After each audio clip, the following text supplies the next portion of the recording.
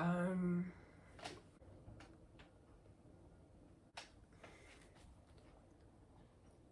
I don't know why it's making me want to cry. But uh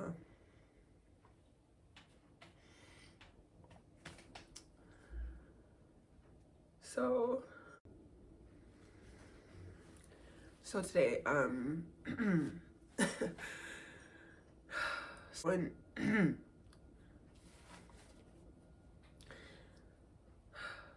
so today I'm going to go um, look at apartments. Uh, I have to move soon. Yeah. I'm just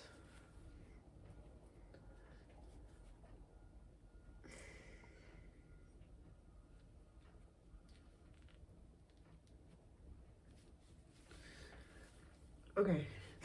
All right. So I'm just, yeah, I have to go look at apartments today.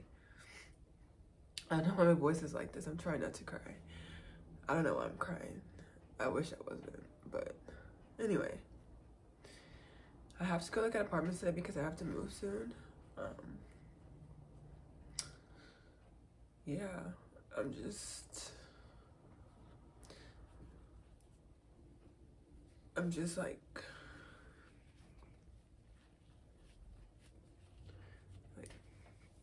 okay, I'm just like going through a lot, like at the moment. And okay. Um yeah. So um I'm just going through a lot at the moment and um I feel like I don't have anyone to talk to, so I might as well talk to myself. I don't know. I wanted to stop. Fuck. I wanted to start like vlogging and you know recording my life because I uh I I know other people are like fuck I don't want to cry. I know other people are like going through stuff, especially right now at this time. And I don't know, I just feel like alone. So why not try it, you know?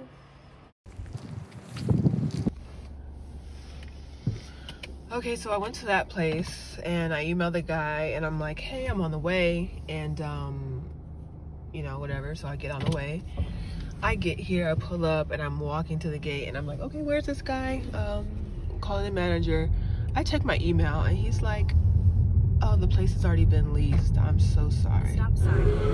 And I'm like, whoa, why didn't you tell me that? Thanks for nothing. So that's what happened with that. Um, I've seen a couple more for rent signs here on this corner, so I'm just gonna go check them out.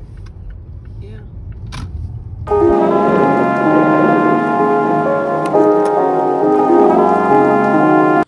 Okay, so I'm back from looking at apartments. Trying to look at apartments. um, and I thought I was like really liking this outfit, but I think it's just this shirt. Get into it. Give a give a little shoulder, a little sexy shoulder. But no, I really do like this shirt. It's really cute. Forever 21, less than eight dollars. I just don't like the way these things. Um, so yeah, I feel a lot better than I did earlier and I just want to come guess retry that. So 28 years old. Um, I'm working a job I hate. I work full time, over 40 hours a week. Um, like I said earlier, I'm moving by myself for the first time. Um, but I just kind of wanted to, I know might feel like I feel, like I feel like time is like just speeding by and I'm I have no idea what I'm doing. Like people always make it seem like they have it figured out, or like if you hit a certain age, if you do a certain thing, if you get to this certain place, then you made it, or you're successful, or you, I don't know. Like I just don't have that sort of plan. Like I feel lost. I feel sad, and it's just been really,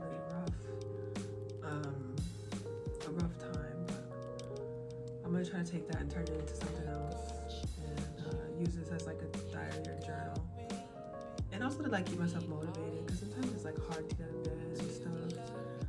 You know, like it's just hard to do stuff. It's hard to live a, a, a normal life, like outside of working. Um, you just feel so heavy, you know, heavy. It's the best way to explain it.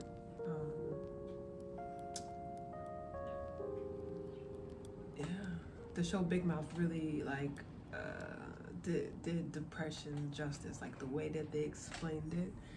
I'll try to insert like a clip or something uh, so you know. Have you ever laid on your side, facing away from the television, listening to a Friends marathon? It's raining outside, and you're wearing double socks. Yeah, let's do that. There you go, Sugar Plum. Oh, I'm sorry. I'm just so comfortable. That's okay. Let go of everything.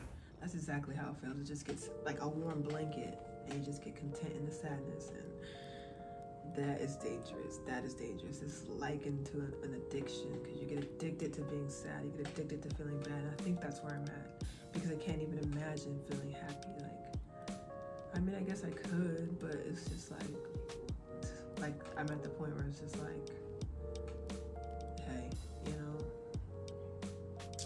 But again, I'm working on it. I am trying to hold myself accountable. I want to see how far, like, I want to look back at this and, you know, you know, accept and, and understand these times are part of life and part of growing up, and that there's no time limit, there's no schedule for how things are supposed to happen.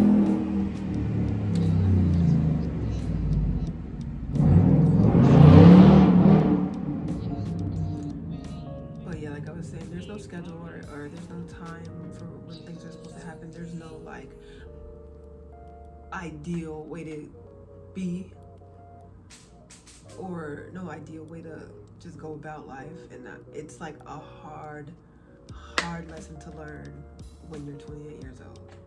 When you have been like working up to, you know, where you think you should be or where you're supposed to be in life a house, a car, kids, husband. All that is not facts, like not factual. Like I wish they gave you the real. But like when I was younger, I probably wouldn't have listened to nobody tell me anything about anything. So you know, it is what it is. But um, again, I just want to come here and I don't know, use it as a journal, or hopefully like other people can relate to me. I can find people who relate to me. Do feel alone. I know I'm not alone. Like I have friends and stuff, but it's like I don't think they understand, or you don't want to like weigh down people with your problems, or you just want to tell certain people certain things. You don't want them to see certain things, or you know what I mean. Like everybody deals with things differently, and um, yeah, yeah. So that's it.